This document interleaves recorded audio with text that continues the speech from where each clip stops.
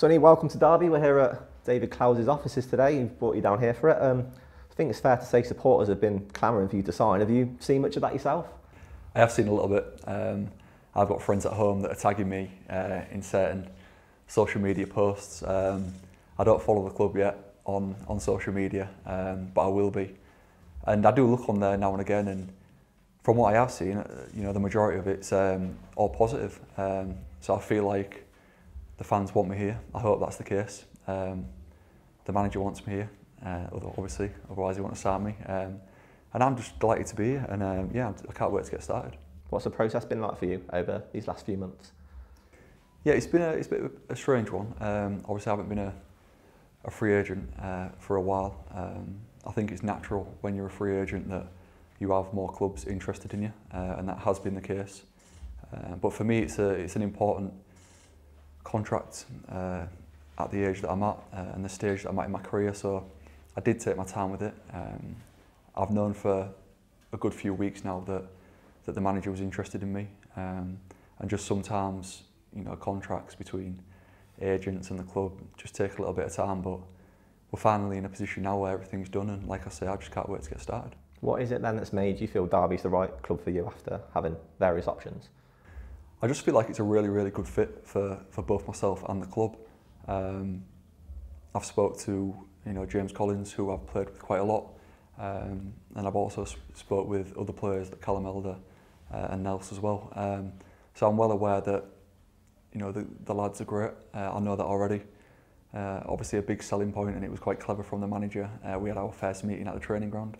Um, and I walked in and I'd never been to Derby training ground and I couldn't believe, you know, I couldn't believe the facilities. Um, you know, amazing. And we get to be there obviously every day. That's that's massive for a player. And then I've obviously been to the stadium as well, so I know sort of what the stadium's like and what the fans can be like. So um, yeah, ultimately that's that's what made my decision. Talk to me about, about those conversations with Paul Warne then. Quite a character, isn't he? Yeah, quite a character. Um, And I, I feel like I've known him for a long time, and that's actually the first time that we've met properly.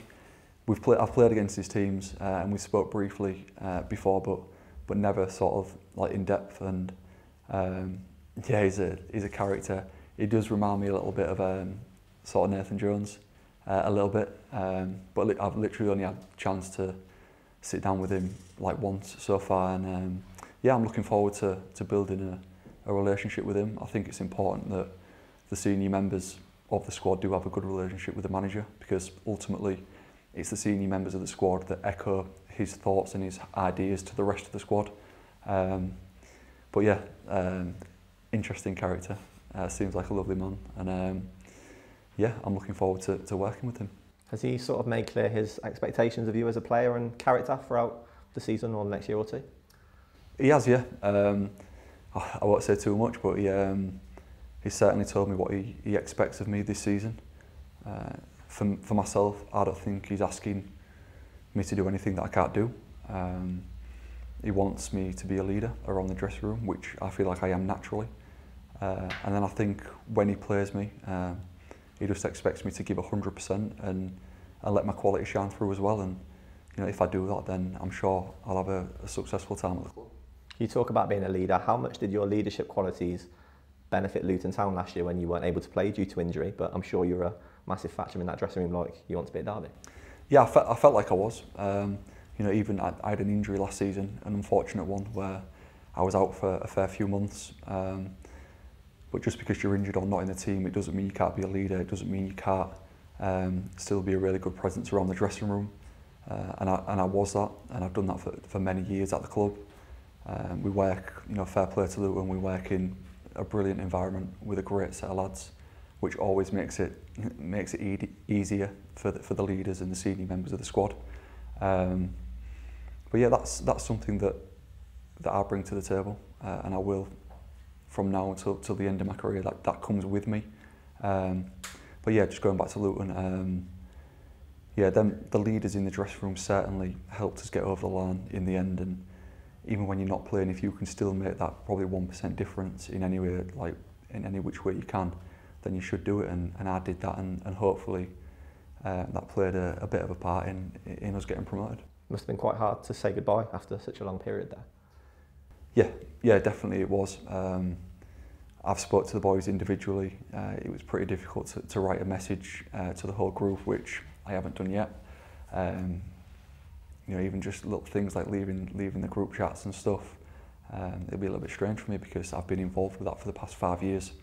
Um, but no, look, I wish them boys like all the best. They, we were just speaking earlier. I think a lot of people write Luton off um, before the season's even started, whether they're in League One, the Championship, or the Premier League. So um, for the boys and the manager and his staff, I'm hoping that they surprise a few this season and, and stay in the Premier League.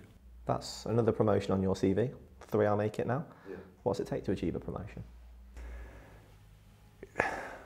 It takes a lot. There's not one specific specific thing that I could just say right now and say, right, that's what it takes. Um, firstly, it takes a good dressing room. You have to be working in a good environment. You have to be honest with each other. Um, if there's any sort of negativity that can spread pretty quickly, so it's important that you don't have that within your dressing room.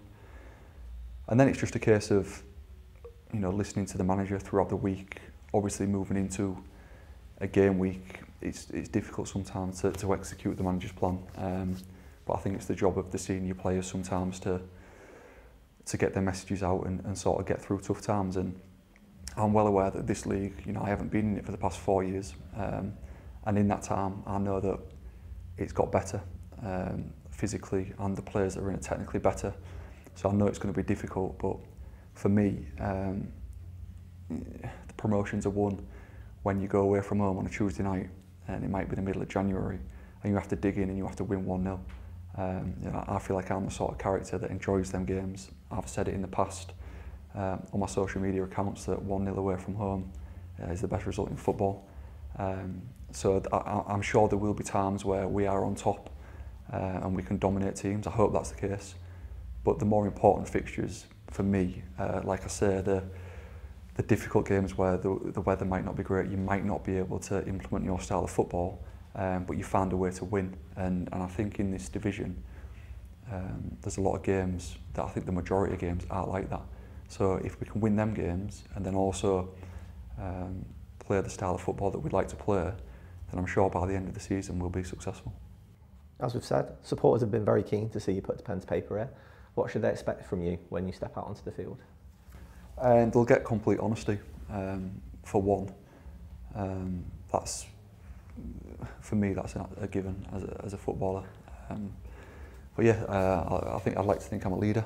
Uh, like I've just touched on then, you know, in the tough times that might come, we don't know, I won't crumble. Um, I'll be there from start to finish. And, and yeah, look, for, for me, I want them to, you know, picture me um, hopefully lifting a trophy at the end of the season. You know, that's obviously the, the dream and that's the reason I'm here. I'm not, I'm not here to, to mess about. I don't want to be in this division next season. You know, coming into this season now, um, I want to do one season in League One and I want to go up to the Championship. I've made, um, that's quite bold of me saying it and I don't mind, I don't mind saying it. I've made my intentions clear to the manager. Um, I back myself to be a, a Championship centre half. I believe in my ability, and that's not me being arrogant. Uh, I'm just confident in my ability. Um, so my, my mentality is if I want to be a championship centre half again, you know, there's only one way of doing it now, um, and that's and that's gaining promotion. So, you know, I don't think that's a surprise to anyone that that's my ambition and, and the club's ambition. Um, and if I give 100% and the rest of the boys do, with the manager's plan in place, then I don't see why we can't do that. I'm sure you're off to Spain on Sunday. How much are you looking forward to getting started? Yeah, I can't wait. I've been I've been training by myself uh, for the past sort of three or four weeks, uh, and it's getting a bit boring now. Um, so yeah, I just can't wait to you know to get in with the boys and um, yeah, start my journey of uh, earning the respect from the boys. You know, that's the, the first thing that I'm thinking is uh, just because I've been in the championship last season and I've been there for a few seasons, I have no right to come into this dressing room and and have any respect off anyone. You know, if if I'm going to get the respect of the dressing room, I've got to earn it. and that's by what I do in training uh, and it's what I do on a match day. Um, so yeah, we go out to Spain and I'm, I'm pretty lucky. I've, I don't want to call it a holiday, and if the gaffer sees that, he might rib me for it. But um, yeah, I've literally just finished my holidays and all of a sudden I'm going back to Spain. So um, my fiance, um, she might not be, she might not be too happy about it when she finds out. But um, but yeah, look, it's all part of it. Uh, going away pre-season, I think it's a good time and a good chance for myself and the rest of the new boys to to bond with the rest of the team and um, you know we'll come back and hopefully we're fitter and stronger. Uh, I understand there's more friendlies to play and then and then we'll get into it, you know, the real stuff and yeah, I'm looking forward to it. Any idea what you're in for, why you're out there as yet? Not yet, but I have spoke to James Collins and so far he said um, pre-season is difficult. Um, and, and like he said, I listened to an interview today, you know, all pre-seasons are difficult. Um, I understand it's going to be hard. Um, but to get fully fit, to get match fit, you have to you have to push yourself. You have to push yourself through it. Uh, I'm willing to do it, and I want I want to go into this season fully fit. Uh, I want to be strong, um, and I want to be available for as many games as possible. So yeah, I'm looking I'm looking forward to, to the hard work getting started.